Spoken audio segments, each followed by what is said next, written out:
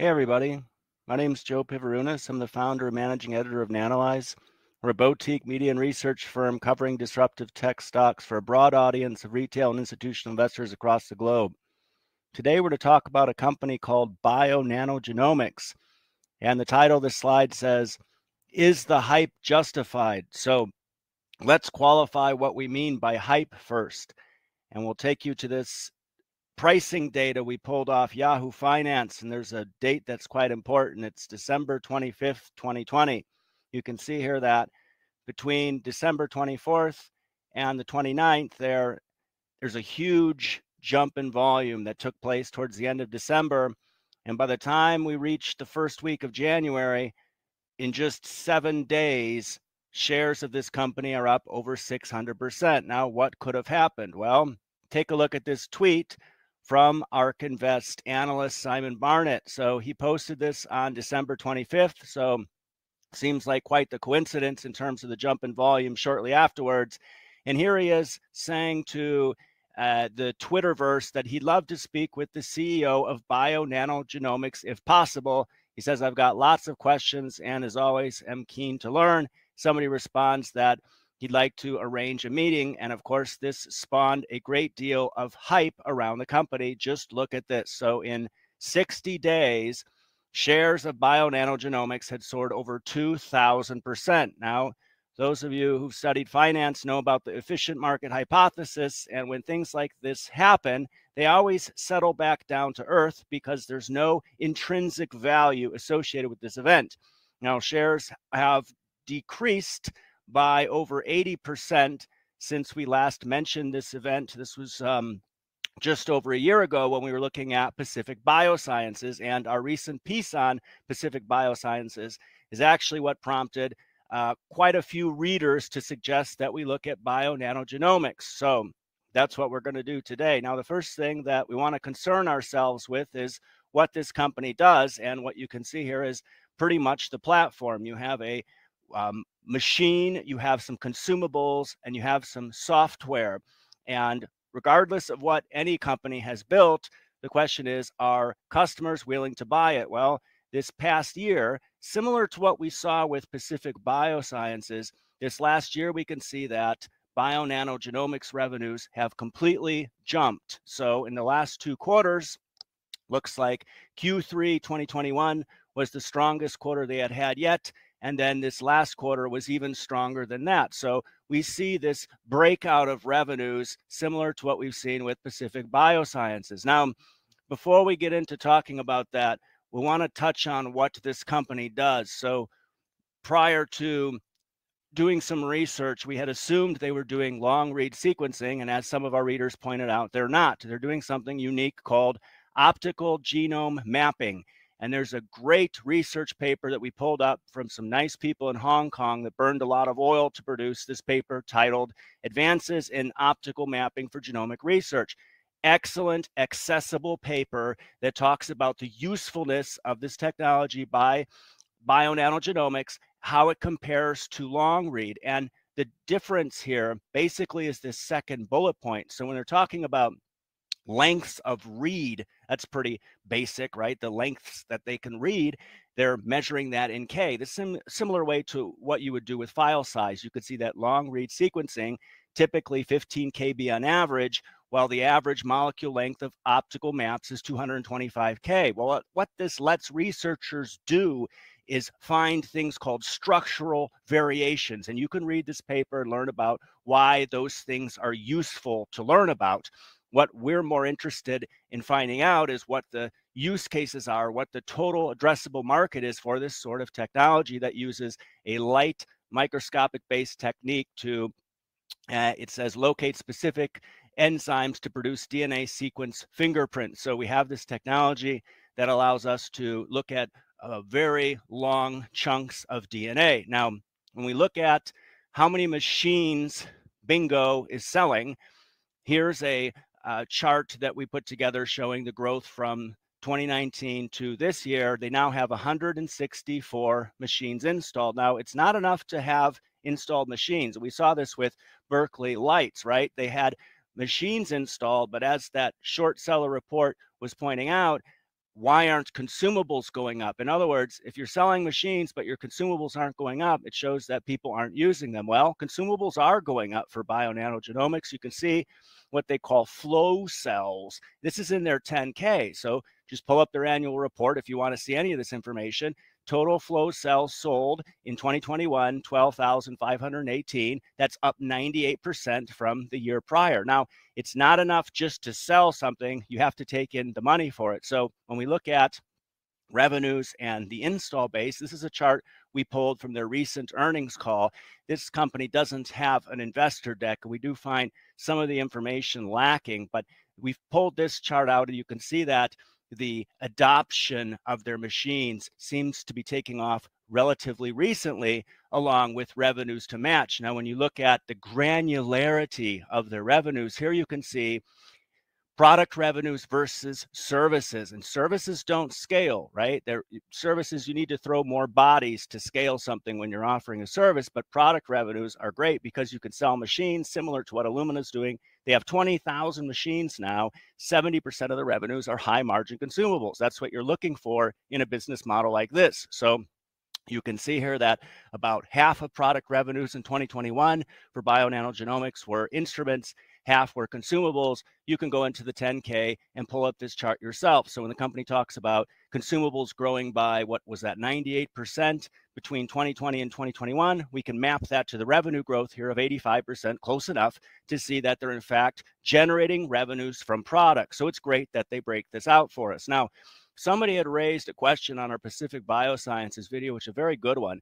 How big is the global sequencing market? And people are throwing up all kinds of estimates. Well, the two long read companies, Pacific Biosciences and Oxford Nanopore, both agreed on this number that today in 2020, would say last year, the market was $5.8 billion, and they've broken it into little sections here. So that next question you might have is, well, how big is the long read sequencing market? Well, there's a report produced by a firm that wants to charge $5,000 to read it, in which they produced a press release, which provides enough information for us to not have to pay $5,000. The firm's called Immersion. They do research on things like this. They said long read sequencing is a $500 million market today to expand to 2.8 billion by 2028.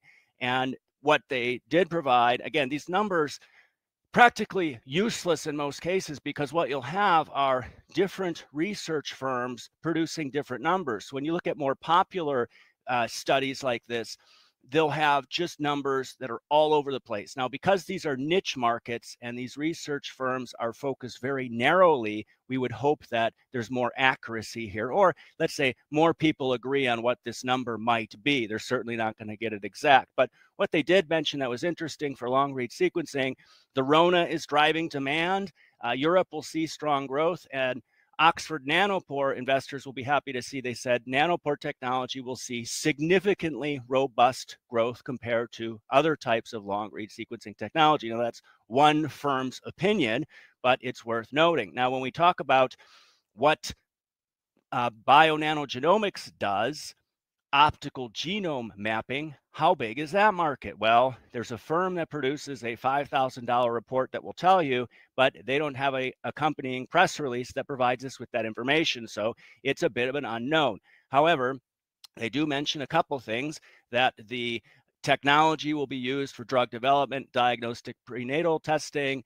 They talk about how the major share of this market for optical genome mapping is held by these firms, OpGen, Bionano Genomics, Nabsys.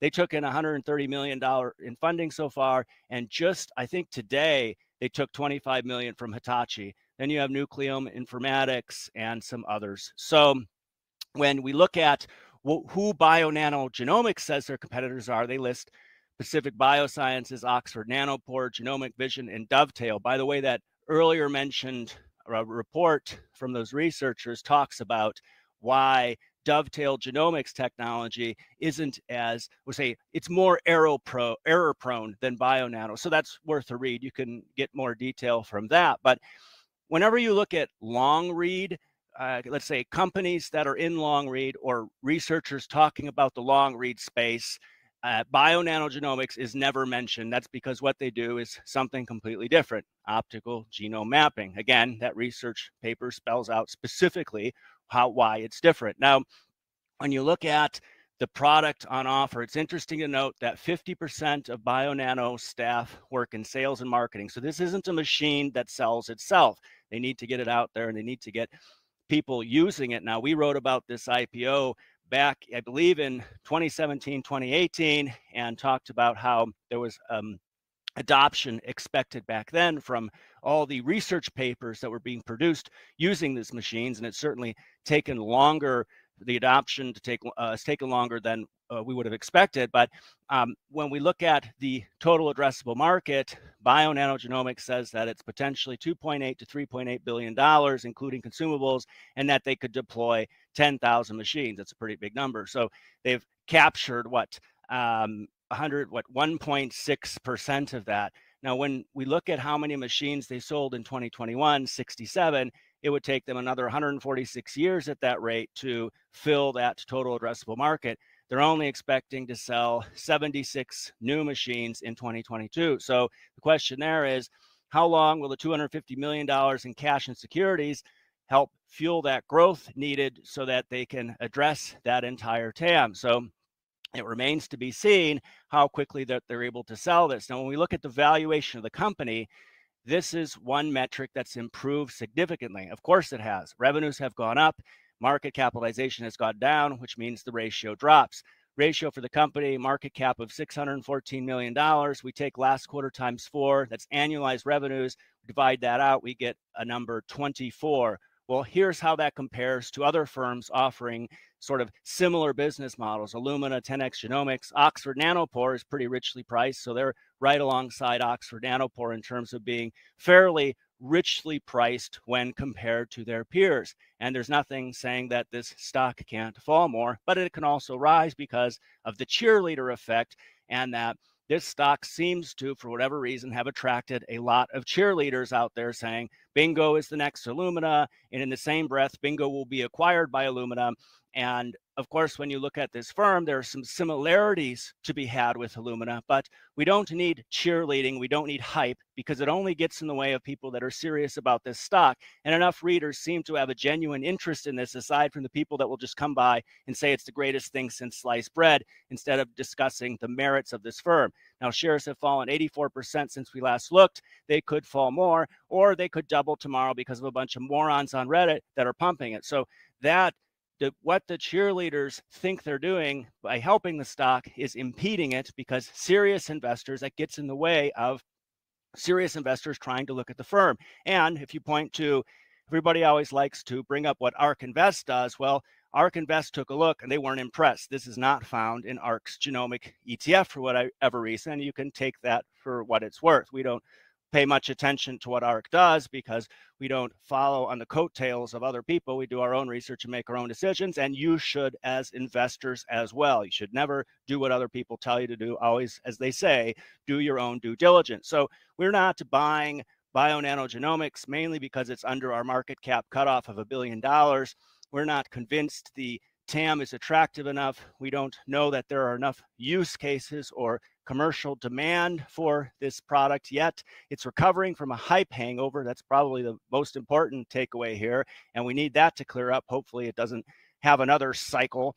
We're already holding the sequencing leader. So if you're holding shares of Illumina right now, you're not overly worried about little niche markets. You're not worried about Bionano Genomics uh, stealing market share from Illumina you're simply complementing your position in Illumina with some potential niche markets. So this isn't something that um, we're overly attracted to in terms of the thesis. Long read seems to be of more interest. However, it's uh, it's a little bit early to say since we need to see what happens in 2022 for Bionano Genomics. Let's see if they can sell those 70 plus machines. Let's see if the revenue keeps growing. If it does, we may check back in 2023 to see what's going on with this company. So please just put your questions, comments in the section of this video. Make sure to subscribe to our channel as we're putting out more videos in the future. And thank you very much for your time.